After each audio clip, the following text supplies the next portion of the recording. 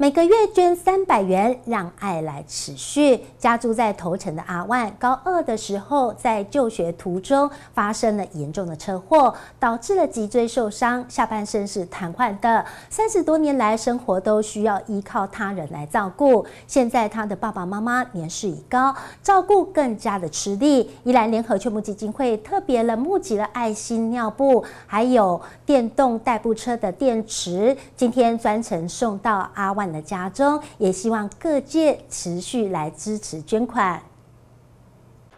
宜兰联合劝募基金会的人员推着爱心尿布、看护垫以及爱心年菜，来到了头城金面山边的阿万家中，帮助身心障碍者阿万。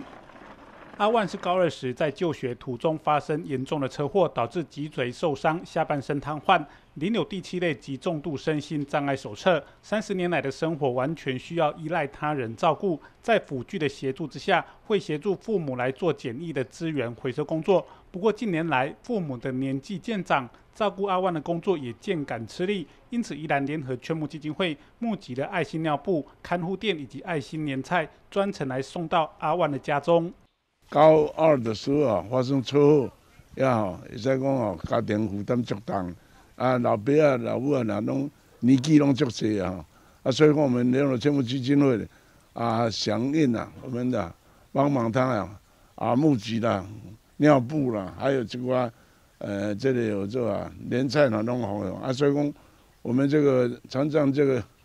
咱的脊椎这个理事长呢，拢来吼，啊，当然。咱希望咱这个乡亲许多，大家要多多大家帮忙这里合作啊，弱势团体啊，今年这个疫情啊，啊也是说，赶快结束啊，使我们生活比较平常，啊，希望我们这个联络全部基金会能帮忙这个所有的啊弱势团体。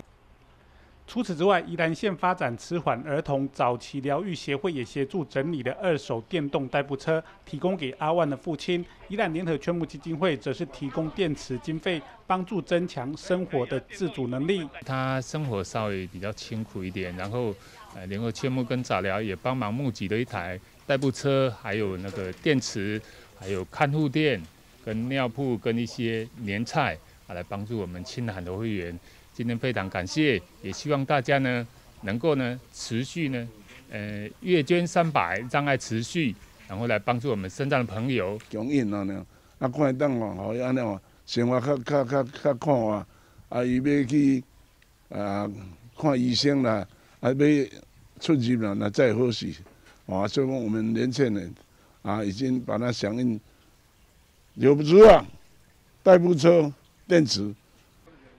联合劝募基金会了解身心障碍者在生活当中的需求，针对经济弱势的家庭，为他们来募集尿布、看护垫以及营养食品等固定捐款，希望号召爱心民众不间断的爱心，来减轻长期照顾的照顾者以及努力生活的身心障碍者的经济负担。月捐三百元，让爱持续，让我们一起为弱势团体及经济弱势的家户募集爱心尿布、看护垫以及营养食品。月捐三百，让爱持续，帮助生障朋友。宜兰新闻记者石世明采访报道。